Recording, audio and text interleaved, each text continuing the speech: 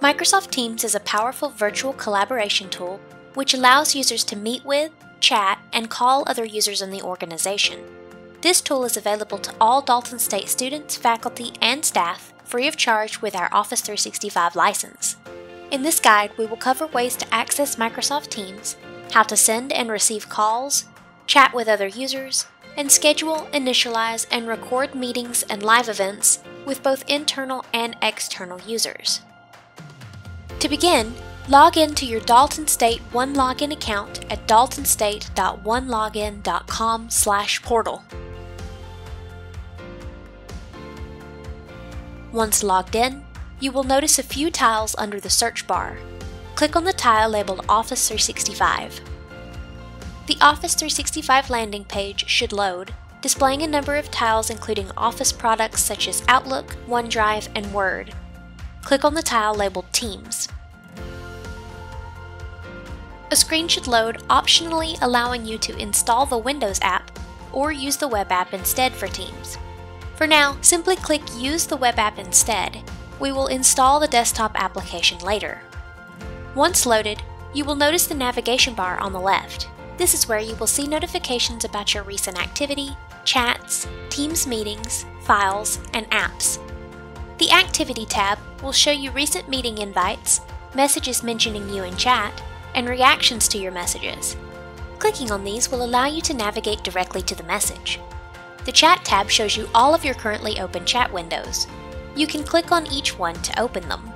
Additionally, each chat has an ellipses to the right of the chat name, which provides you with a variety of convenient options, such as pinning a chat to the top for convenience, having the app notify you when a user is available, or hiding chats you are no longer participating in.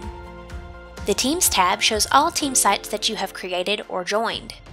The Calendar tab displays your Teams meetings and allows you to meet immediately, schedule Teams meetings, or schedule live events.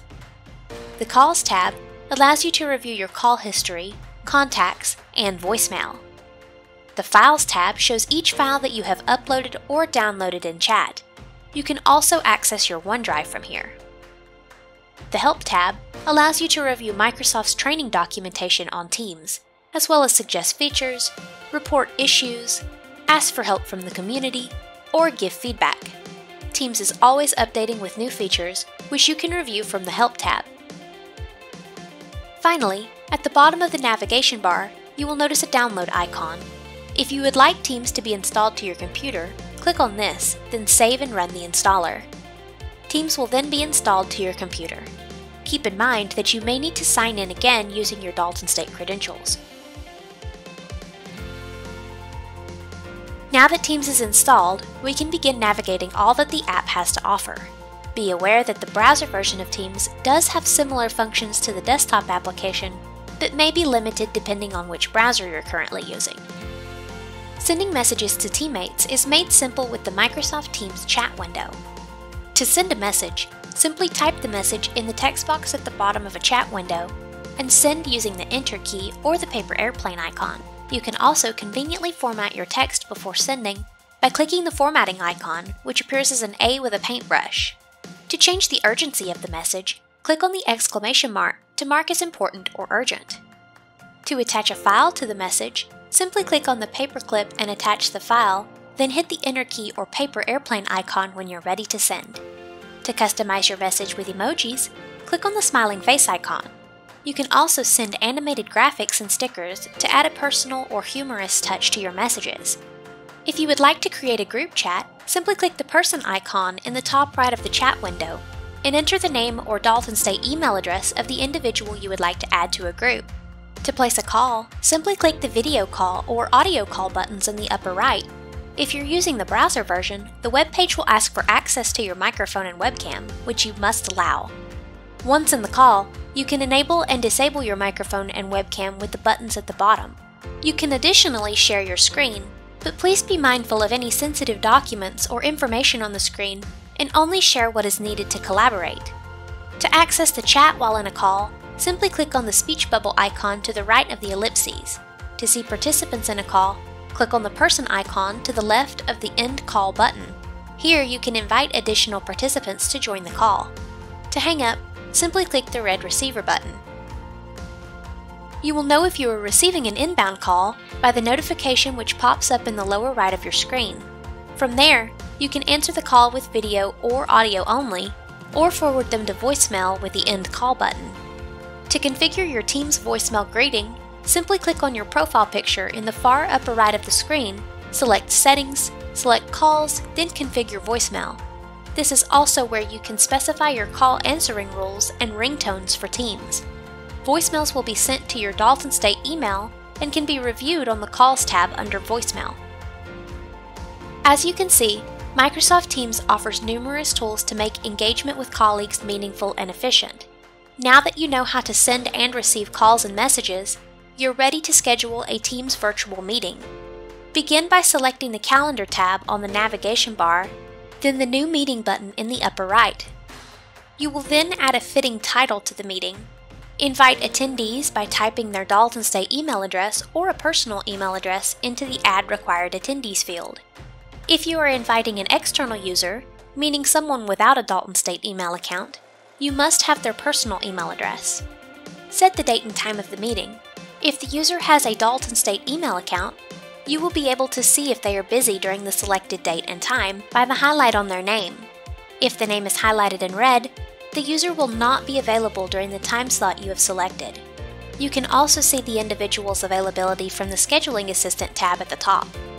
Optionally, you can include a Teams site as a channel, or specify a room as the location for the meeting. Finally, type the meeting details into the bottom text box and click Save in the upper right. Your meeting will then be scheduled, and the invitees will receive an email containing a link to the meeting. External invitees will be able to enter a name for themselves to use during the meeting before joining. You must accept them into the meeting at the designated time. Once in the meeting, you will have a number of options available to you as the organizer, if you click the ellipses next to the screen share button, you can record the meeting and make it available later, and you can turn on automated live closed captioning. Teams also offers an option to raise your hand while in a meeting. You can access chat and the call participants in the same way as a regular call, allowing you to send messages or invite new attendees while in a meeting. Similar to meetings, Teams also offers the ability to stream live to a larger audience. To stream live using Teams, click the arrow to the right of the New Meeting button, then choose Live Event. Enter a title, an optional location, the time and date, and any other details necessary. If you would like to invite presenters, you can do so to the right of the title field. Click Next, and then you will be able to select your audience. Choose People in Groups to specify a set number of individuals who can join the event. Click Org Wide if you would like to make the live event available to all users within Dalton State.